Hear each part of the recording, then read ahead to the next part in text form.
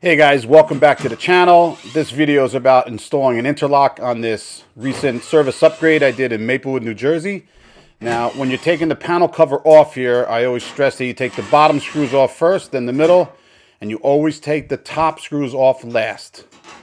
Uh, you want to make sure that you have some pressure on that cover as you're taking off these top screws so that the panel doesn't fall off. Because if it ever got inside that equipment, uh, you could have an arc flash and that would be a very terrible thing to happen. So take your top screws off last and be careful taking this cover off. Use two hands, pull it off slowly as you see here. On this particular job, the inlet circuit that goes to the inlet box on the outside of the house for where the generator connects to it, that was already in place. So all I had to do was reinstall it into the new panel here and then finally terminate it on my mechanical generator circuit breaker here. It's a double pole 30 and it's a 30 amp circuit to the inlet box on the exterior. This mechanical tie down right here is what mechanically attaches this generator circuit breaker to the panel enclosure.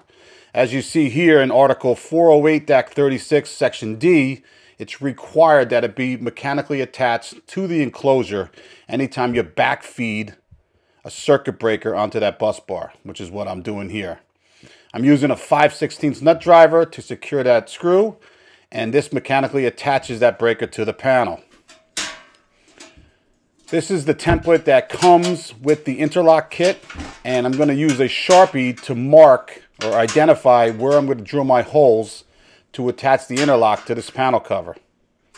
Now you could use a marker like I'm doing here or you could use a smaller bit just to uh, give a little, just to identify where those holes are going to be before drilling it with the larger drill bit as required with these instructions. It's a 532 inch 5 seconds inch drill bit that's required to make these holes to fit the nut and bolt assembly to attach the interlock to the panel cover.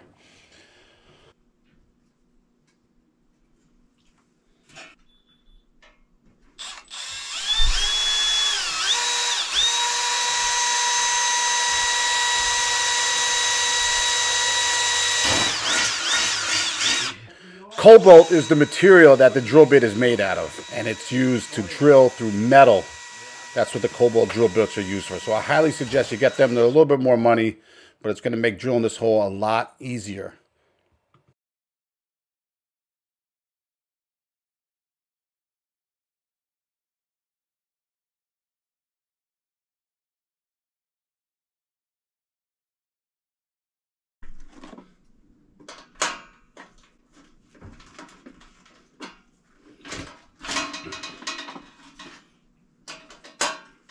I will definitely say that the Square D interlocks are some of the easiest interlocks to install to the panel covers. I won't mention any other manufacturers, but I will say that the Square D has the most easily understood directions for installing the interlock compared to the other companies and the ease of installing as well. Uh, comes with the metal template, which really, really helps to align to make sure you got your screws and your nut, nut and bolt assembly in the right place. Uh, I can't stress enough how important it is to have that in the right spot. Otherwise, you're not going to be able to turn on, on and off either the generator breaker or the main breaker if it's not installed just right. So take your time before you drill any holes because you really only have one shot at getting it right. After the interlock is installed, you want to reinstall the panel cover. I'm using an M12 impact driver and a number two drive bit to attach the screws to the panel cover. Turn the main breaker off and slide the interlock up. Then turn the generator breaker on. Both circuit breakers cannot be on at the same time. This is the purpose of the mechanical interlock.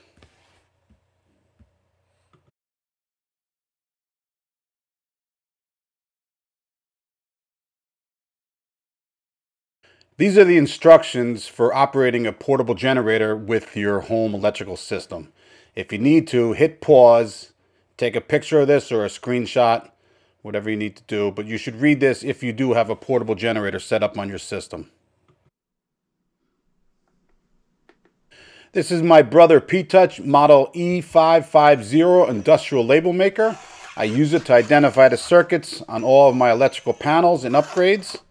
In case you were wondering, I do identify each of the circuits. That's required by the National Electric Code.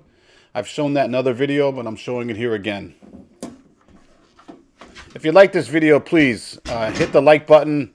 Also, if you're interested in subscribing, please do that. Hit the bell notifications so you're updated on when I upload new videos. And as always, thanks for being here. We'll see you in the next one.